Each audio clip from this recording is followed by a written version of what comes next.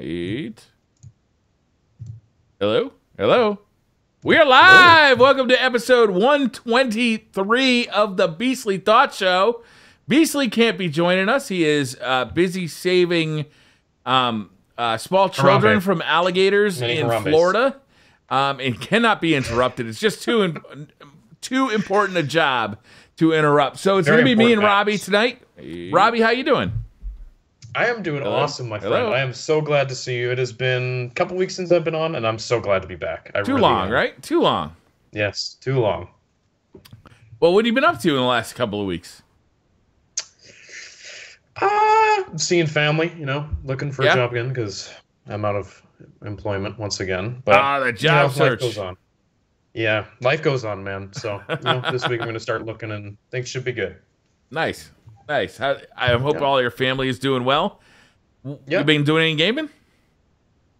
Ah, somewhat this week. Definitely, I've been playing uh, the Titanfall 2 beta for the most part. Been playing that again, seeing the changes they've made. Right, I that's a lot of live people- this weekend again, right? Yeah, this will be the final weekend before the game comes out, and I know a lot of people aren't really happy with it because it's a lot different from Titanfall One. You know, It is a lot different, isn't it? Paced, and it's not as fun. I really like it though. I Yeah? think it's still a lot of fun. I think they have a long ways to go with it. Definitely, I wish there was a little bit more of an emphasis on the mobility, but I think as far as the Titans go, things are more varied. There are more weapons, so I still really like this game a lot. So I, think haven't gotten a chance to play it yet, Robbie, but I am looking forward to playing it because I love Titanfall. It just, yeah, you know, just the long tail of it didn't it it didn't allow me to progress or feel a sense of progression. So I just kind of I lost interest in it after a while. Uh, but I'm really excited for not only a sequel to Titanfall, which is a game I did love, uh, a single player component to it, which I think the world definitely deserves. But the multiplayer was fun. Talk to me about the multiplayer. You played it a little bit. There's now a mechanic where you have a uh, grappling hook. Um, they slowed down the rate at which you can get your titans, right? hmm But then they also increased that after uh, feedback from the first week. Oh, okay. So they you get you get them faster this week than you did last week. Yeah, because if you remember in Titanfall 1, it was basically like that meter would progress on its own, and if you got kills, that meter would progress faster. So everyone had a chance to get a Titan. The way it worked in the first week of the uh, technical test was it was more of a kill streak. Like the meter itself would Yeah. not move. You had to get kills to charge that thing. Now they've made it so I think every five seconds it goes up little bits, so you don't just have to get kills. I remember that being a complaint from the first one was that the COD players or the COD community that came over to check it out said, "Why does everybody get one of these? Shouldn't it be be a kill streak?" Like, and I kind of felt the changed it. same, and they changed it, and then I don't know. It's a different world. It feels like since Overwatch, since Destiny, like it feels like you know the way to get casual gamers into your game is to give everybody super powered, you know, tools, right? And uh, Titanfall definitely had that in the first one, then they took it away in the first test. Now they're giving Yeah. it back. You you like it better now, or you like it worse, or As far as how fast the Titan recharges? yeah, I don't know. I know a lot of people weren't happy about it, so that's why like they changed it. They said, "All right, we're going to make it basically a kill streak," and then people said we're not happy with that. They said, "All right, we'll change it back to the way it was." I mean, I like it better. I like having more Titans on the ground. I feel like the Titans are what makes Titanfall stand out from you know Call of Duty and Destiny and all. Oh, yeah, I, for That's what I like about Titanfall. yeah. So for me, that's great. But I know a lot of people were maybe not necessarily happy about that. Like some people liked where it was, you know, less Titans all the time and just not as chaotic. I, I will say this: by the time like I was wrapping up my time with Titanfall, I really was playing pretty much only. And this got introduced later. I'm not crazy. I, I don't think it was there at launch, but later on they gave us uh, pilot versus pilot mode, Yep. and that's ended up being where I like to spend most of my time. The Titans were fun at first, but they felt like gimmicky toward the end. How does actually piloting a Titanfall a Titan feel? That's I think one of the best improvements of Titanfall 2. The Titans are much better in this game because there's two Titans to choose from. There is Ion, which is basically like he's your machine gun type Titan. He has a big gun he fires. He shoots like this electricity and he has a big laser that comes out of his chest too. Mhm. Then the other Titan is called Scorch. He's basically like a fire-based Titan. He has this massive cannon that shoots like this big one shot at people and he can like slam fire down across the ground. They're both varied and they're both really different play styles, which is probably Mhm. my favorite thing about Titanfall 2 so far is the Titans feel unique. Like they're different play styles. Yeah. Really like that. Uh, how does it feel when you are in a Titan and there's a bunch of pilots around? Do you feel like you can defend yourself against pilots, or do you feel like you're basically a sitting duck? Well, as far as my experiences go, I feel like the Titans are very powerful. I know people have also said that the Titans feel like they're weaker in this game compared to the first one. Like Mhm. it's easier to take them down.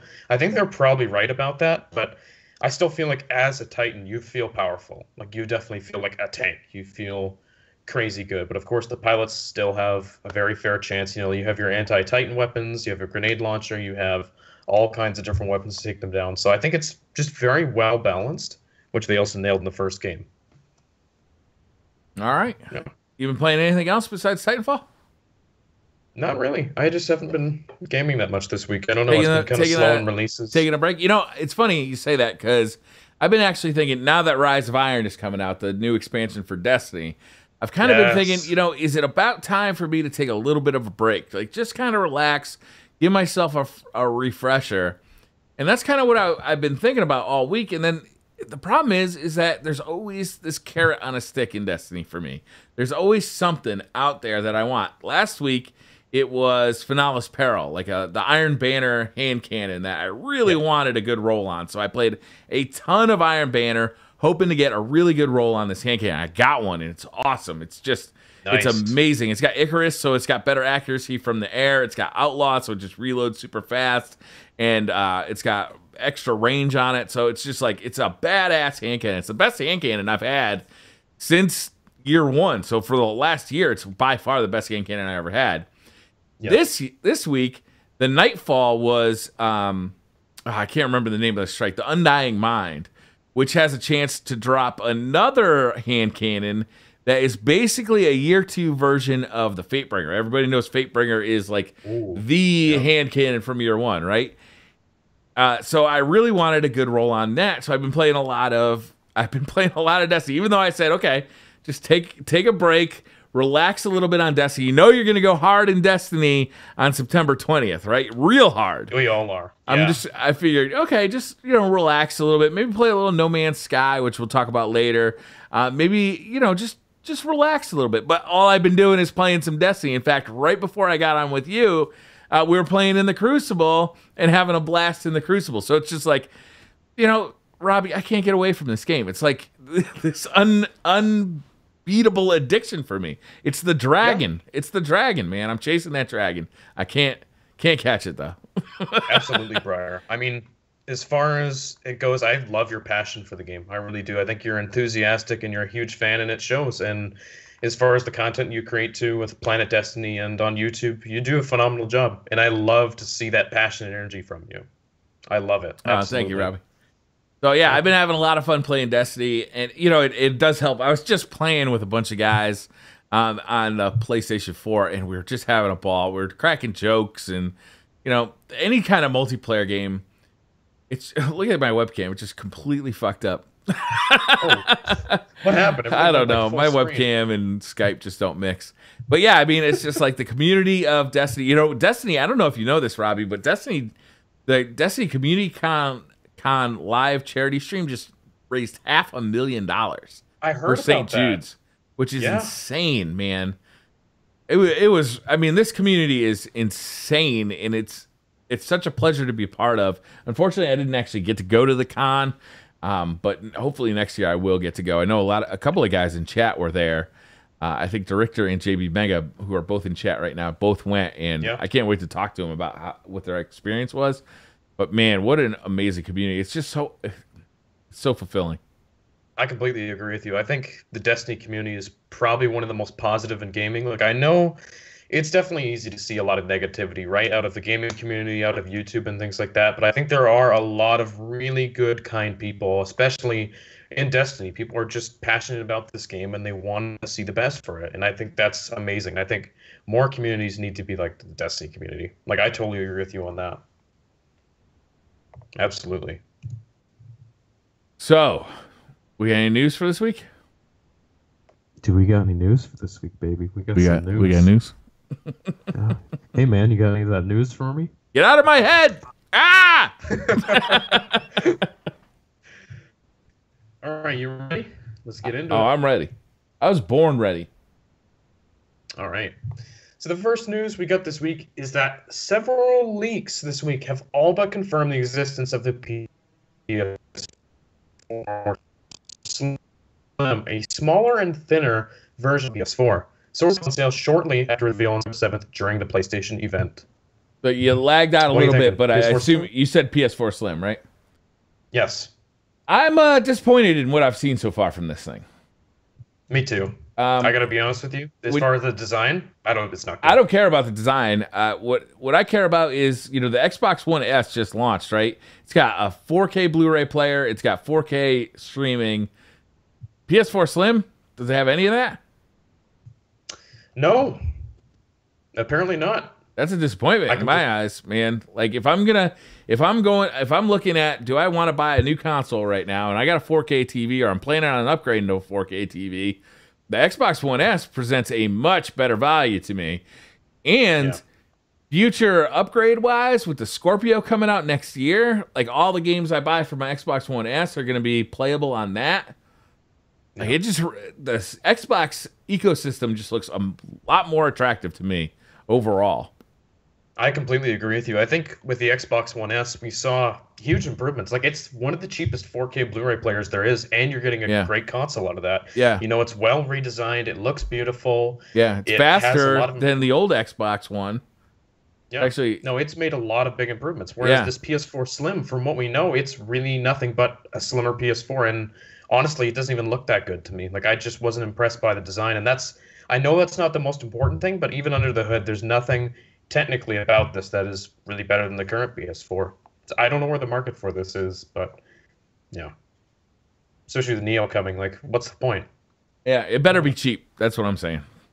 Very cheap. I am looking forward to their event. Is it September 9th or September 8th that their event is? Seventh. Seventh? So- Okay, so I'm looking forward to the event because I want to see. I do want to see if the maybe the PS4 Slim will out of nowhere come out with a Blu-ray, uh, Ultra HD Blu-ray and 4K streaming. I would love to see that. If it doesn't have that, I'm not buying one. Um, but I do want to see what they're gonna do with the Neo. Like we've heard these rumors about the Neo since way before E3. Like, is this thing going to be what we've what we've heard it's going to be, and if it is, how are they going to compete with the Scorpio next year? Agreed. Yep. Especially, how does that system change before and after the Scorpio reveal? Like, how does Yeah. Sony react to that and change the Neo based on that? Which I'm very interested to see. Sony's actually in a place of power right now. Like right now, because they have not re- they have not released any details about the Neo. They're actually in a place of power. Is they could delay the Neo, you know, make it at, make it wait until 2017 and release it at parity or with more power than what the Scorpio is saying. I don't know if they're going to do that because I feel like if they release the Neo, they're shooting themselves in the foot. To be honest with you, I don't see I don't see the Neo as a good idea. As excited as I was before E3 to hear about the Neo, after E3 and the the announcement of the Scorpio, I was like, what do I want with a you know a 1.5x PlayStation or 2x PlayStation when I could get 6x the performance if I wait until the Scorpio comes out? Yeah, Scorpio is like pretty much a whole new system. Like, that is a huge leap. Whereas Neo is like a much smaller leap, at least from what we know. Of course, it's not confirmed, but yeah, Scorpio is just way more exciting to me too. But I'm definitely interested to see what their approach is with Neo, how the messaging is, and what they say about it. Like, it's Yeah. definitely going to be Yeah, important on how they message this thing. it is interesting. It's an interesting time. Very interesting, man. This hasn't happened in a long time in games. ever. Like, this is I- this is the first time this has ever happened. It's this halfway upgrade cycle thing. This is a completely new right. experience. I think you're right. Yeah, there's been similar upgrades in the past with like Sega Genesis and stuff, but this is a whole new territory for the most part. Yeah. I don't know. We'll have to see what happens. What else we got for news? Uh, speaking of the PS4 Slim, the DualShock 4 controller is reportedly being redesigned with the release of the unannounced PS4 Slim. This is exciting. Yeah. The controller will have a gray D-pad, face buttons, shoulder buttons, and thumbsticks.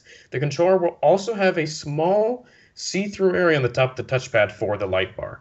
Yeah, you missed the best part. The controller will plug into a PS4 using a USB cable, and the inputs will go through that USB cable instead of being forced to go wireless. Oh, really? Yeah. Uh, I so didn't hear about that. I don't know if you have ever ever had problems with your controller acting goofy on a PlayStation, like I have, randomly yeah. input or super delayed inputs. But I've had that a ton on my PlayStation 4, and it's even though I really love the feeling of the controller and you know the way the controller rests in my hand, like I love the overall design of the controller. That is really sucks, man. That that really sucks. In the Xbox One, you know, if you're having problems with your wireless connectivity, you plug it in and it it automatically transfers all your inputs over to the cable. The PlayStation 4 controller, this new PlayStation 4 controller is going to do that as well. And that to me is actually a huge change and the most important change to this controller. Uh, That's exciting. I yeah, I'm that. really excited about that. wow. Hopefully the durability gets better too. We all we've kind of beaten that to death, but Yeah, I think it has gotten better already, and hopefully, yeah, it does continue to get better. Um, I do kind of like that light bar on the top of the controller as well, like being able to see the light bar. That's kind of cool. You know, some games have, like, they'll use the light bar as like, you know, a visual. Like it, as your health gets worse, it gets red, or you know, when yeah, you but you can't see it really. you can't That's see it unless you're playing in a dark room and it's like flashing off the floor or the wall in front of you. You can't really see it, so it's a wasted effect. So at least if it's kind of at the top of the controller, it'll kind of be shining at your face a little bit, and that's kind of cool. It's Yeah, not a big deal though. Not a big deal. It's nothing that they can't represent on the screen itself. The bigger deal to me is the fact that it'll actually transfer the signal like your controller input over the cable to the PlayStation 4. And I believe that'll be compatible with from what I understand it'll be compatible with the Slim or the the old PlayStation 4. It's just it's got to be a new controller though. So uh, not a good time to buy PlayStation controllers right now or a scuff. Like if you're waiting, if you're looking to buy a scuff or a PlayStation Yeah. controller or whatever, uh, definitely hold off till this new PlayStation Slim version comes along, because you know wired is the way to play. Straight up, Yeah. it it just is. Yeah, I think so. And I like that a lot of these changes are definitely small, but it sounds like it could be much needed improvements, which is great. Yeah. Because the design of this thing is awesome. Like I love the controller. Right. You definitely do. All right. Uh what's next? Oh, this is gonna be a bit of controversial. So Sony has announced this week that PlayStation Plus subscription prices will be increased starting on September 22nd to $59.99 US and $69.99 Canadian for one year. Three-month subscriptions will now cost $24.99 US and $29.99 Canadian. It's a ten dollar increase, right? Ten dollar per year. Yes, per year. Yep. What do you What think? what do you think? I don't care. I don't care. They, they to I'll be honest with you, they should have just announced like uh because because we're adding this new feature or we've added like this new server farm, you know, like this more reliability, you know, like just announce some stupid feature that, you know, ten dollars, but I don't really care. You know, inflation is inflation. Things cost more money over time. I don't really care. What do you think? And Robbie's gone. We lost Robbie. He's locked up. Agreed. You know, Uh, the value of money, like that's definitely important to keep in mind. And I think just oh man, we're ripping. Oh no! Oh crap! All right, we're gonna see if we can get Robbie back. What I'm gonna do is I'm actually gonna hang up on him and call him back. Is, this is not good. Oh crap! So we hung up on him, and we'll call him back and see if that works out for us. Sorry about this, guys. A little technical difficulty here. Rip Canada. uh, for those of you who watch the show on YouTube, we do record it live on uh, on Twitch, and uh, the chat is hilarious. Silent Doom, how you doing? King of Pablo. Uh, Director, I want to get with you about what you're talking about right now. Oh boy. Now we can't get a hold of him at all.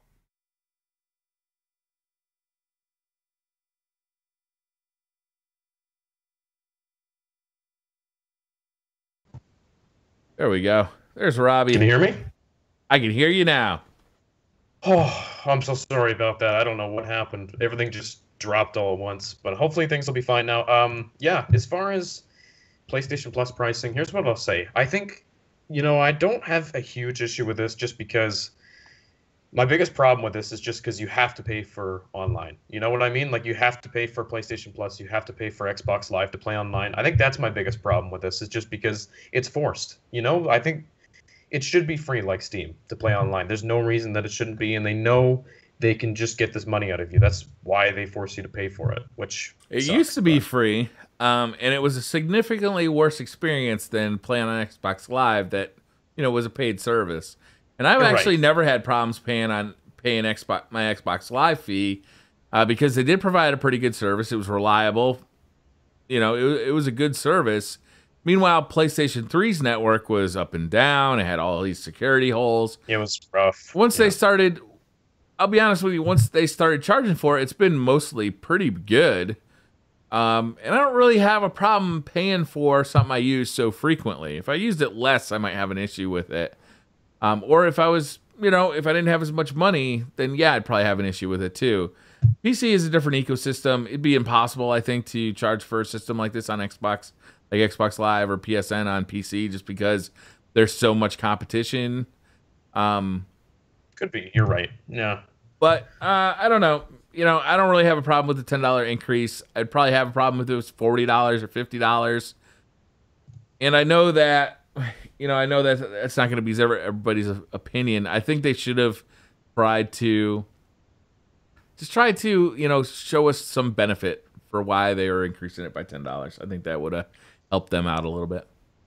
Yeah, that's true. Like you know, it just seems like they're just doing this because they can. But I think really what they're doing is they're increasing this price because now it's going to be the same price as Xbox Live Gold. That's why they're doing it. Mm-hmm. I think that's why. And yeah, inflation. You're definitely right because you know, money money values go up and down over time. So that's just a natural thing that's going to happen. Like costs will change.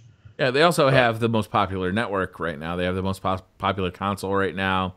Going into this generation, they were still trying to, rep- you know, show that they could do this, show show that they were representing a value uh, compared to the Xbox One. Um, and I think they've showed that now, and it's like, okay, well, I mean, why aren't right, we, yeah. you know? But yeah. Yeah. All right. Next, Next, uh, what do we got next? The Witness is coming to Xbox One on September 13th. That was just announced, which is very soon. And Yeah. I've heard amazing things about this game. You ever had a chance to play it? I haven't had a chance to play it. Uh, I don't know that I will, but it looks good. Yeah, I've heard nothing but like amazing things about The Witness, so I would be interested in giving it a shot, but you never know. All right, uh, this is going to be great. Battlefield 1's season pass has been announced and Uh-huh. been detailed, so let me open this up. Hopefully, the web browser will not crash. Please don't do that. Oh boy. Oh, there we go. What the hell's going on here?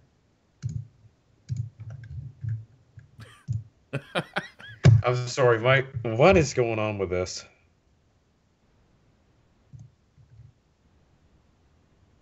So they got a season pass. That's Yeah. not to be Okay. Okay. I got it. Yeah. All right. So season pass. Well, at first they said there wouldn't be a season pass, and then they lied. There is going to be one for fifty dollars.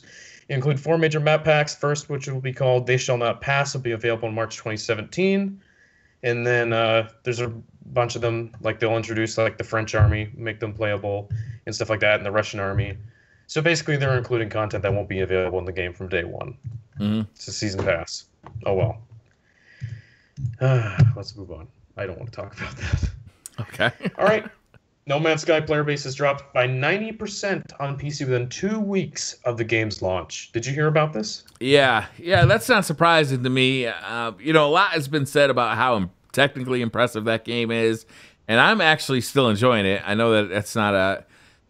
Mm, You know, I might be lying a little bit because I say that I'm t- still enjoying it, but I haven't actually played it in like a week and a half. That's what I said. too. Like, it's a great game. I love it. I haven't played it in like a couple weeks. Yeah, it's uh, you know it's a cool game and it's it's fun when I do play it. I have fun, but there's no doubt that it is a very shallow game. You know, it's it's got you know it's it's wide open. You can go here, you can go there, uh, but once you actually get to these places, there's not a whole lot of stuff you can do at them. So. Uh, one planet feels much like the next planet. It's just visual, small visual differences you have between the two planets. Uh, looks like we've lost Robbie again. I'm really sorry about this, guys. We're having some major technical difficulties uh, with our internet today. So that's unfortunate. No man's time. OS worth it. yeah, so I'm sorry. You know, again, uh, if you watch this on YouTube, it is awfully fun to watch this in chat uh, on stream. It might have to. Uh, I have to kill this podcast tonight. It's not. It's just not going well. Jimmy Pike, right? Ninety percent is a huge number, uh, uh, but it makes so sense, sorry. doesn't it? It's like you got you got this game that's you know you know this deep but this wide. Well, once you figure out that all those planets are kind of act exactly the same, there's not much you can do really. Um, I, I still enjoy that the actual physical act of exploring, but it's just there's not a whole lot of new stuff you find. You back, Robbie? Nah, he's not back. It's super, super repetitive, uh, Jimmy Pike. Yeah, I would agree with that. It is very repetitive. It looks cool. It feels cool. Uh, there's definitely gameplay improvements they can make to No Man's Sky. Like, uh, you know, ship battles don't feel particularly good. Aiming your gun doesn't feel particularly good, but they essentially sold a playable concept. Yeah, that's about right. Uh, it is playable. It is a game. Um, there's no story or anything really. Screen grab his face, please. New emote.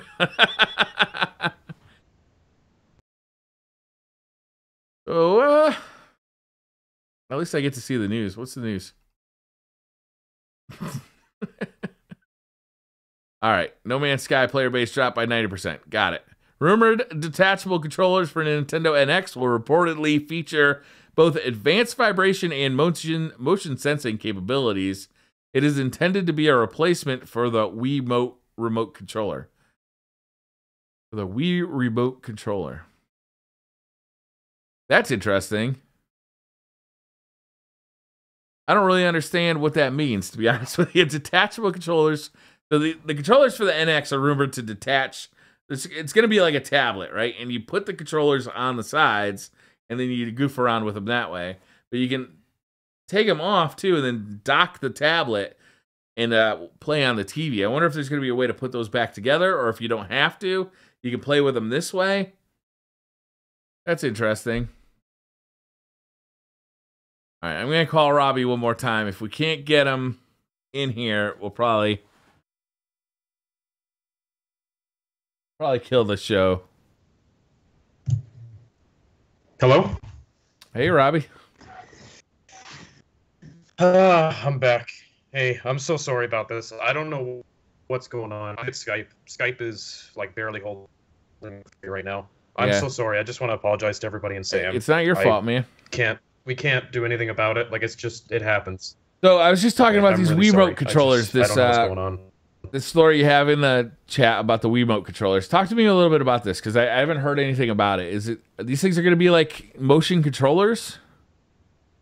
Yeah, the NX detachable controllers. Basically, it's supposed to be like um, a replacement for the Wiimote. They're thinking of phasing this out. It's going to have like advanced motion sensing. So mm-hmm. basically, the idea is like if you're playing a game, you get hit by like a sword, for example, it'll feel different than if you're hit by like someone punching you or something. Just for an example. So mm-hmm. it'll be kind of like that. They'll simulate like different uh, motions like that but yeah, I don't know. Like this is all rumor. Like we don't even know if the NX has detachable controllers. Like none of this is confirmed. This thing is still not announced. But definitely sounds interesting to me that they're just making another Wiimote. Jimmy Pike in chat is saying, "Are these backward compatible? Will will we be able to play Wii games on this on this new Nintendo NX?" I Good no answer. Idea. That's a... We actually haven't heard really anything. I have no idea. We haven't heard anything on backwards compatibility. Could be possible. I mean, Nintendo sure is a big um, a big player when it comes to that. So I wouldn't be surprised. but for now, we just have no idea. All right. God damn it, Skype! I'm really upset right now. All right. Oh, we're getting through it. What's the next story, Robbie? Oh, that's silence. All right. Uh, last bit of news is about Resident Evil 7. Some new details were listed from the ESRB. If this link will open, please. Okay, there we go.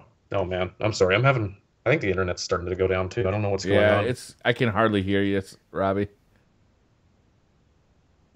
Shit. Okay, hold on.